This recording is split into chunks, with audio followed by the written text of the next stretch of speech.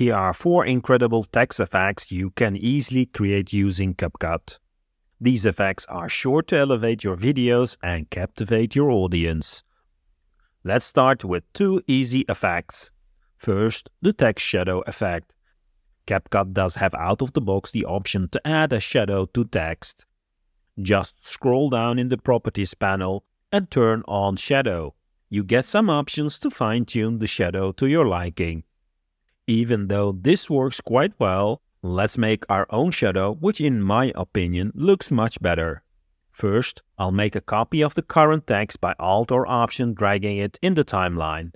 I'm going to do that one more time so that we have two copies of the text. The bottom text will act as our shadow. I'll change the fill color to black and slightly move it to the bottom right. We now have a very hard shadow. In order to make it softer, we need to blur the black text. Sadly, CapCut does not allow to apply effects on text clips. As a workaround, I'm going to add a white fill layer below it from the media library and make sure it fills the canvas by scaling it up. We can now select the white fill and the black text. With both selected, right-click and choose Create Compound Clip. Let's open up the Effects tab and go to the Lens section. Here we can use the blur effect on the compound clip we just created. Adjust the blur size to what you like and as a final step we need to change the blend mode of this compound clip to multiply. With the multiply blend mode, whites will disappear and the blacks will come through, which is exactly what we need. Let's compare it with the built-in shadow. And here is our own shadow. I think the one we created looks much better. By the way, this technique can also be applied to masked videos as well. The second effect is very similar, but instead of creating a shadow, we'll create a glow. Just like as the shadow, CapCut does have a built-in glow option for text. Scroll down in the Properties panel of the text clip and enable Glow. Set the glow color and the properties and you got yourself a quick nice glow effect. But let's create a custom glow which will look much cooler. The steps are very similar to the shadow process. I'll make two copies of the text clip and change the color of the bottom clip to our glow color.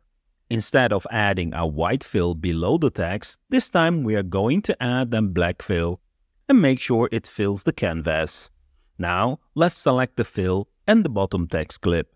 You might have guessed it, we are going to create a compound clip. Now from the Effects tab, to get the glow, we can apply the Edge Glow effect to the compound clip.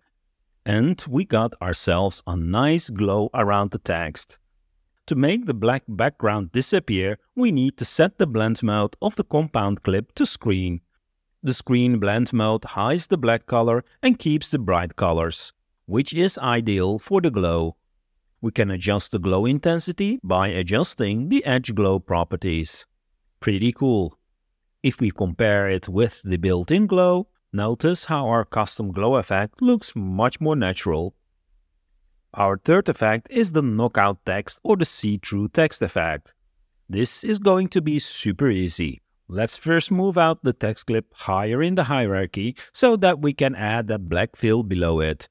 As always, make sure the fill covers the whole canvas. We can now select both of them and use them to create a compound clip.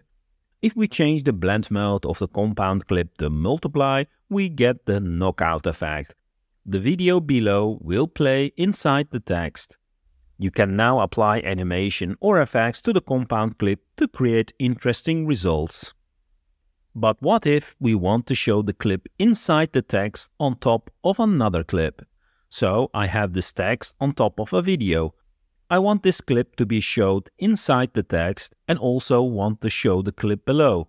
Here is some Voodoo CapCut magic for you.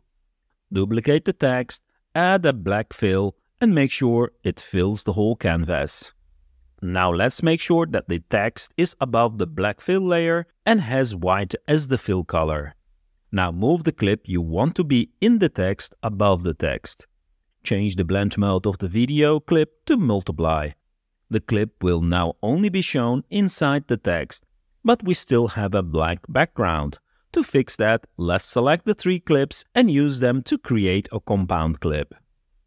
Make sure the compound clip is above the initial black text we started with. Change the blend mode to screen or brighten. And like magic, the black has disappeared and we got the effect we're looking for. Video inside text on top of another video. As mentioned earlier, all the methods can also be applied not only to text but any object or masked video you have. Thanks again for watching and I hope you learned something new today. Until the next video.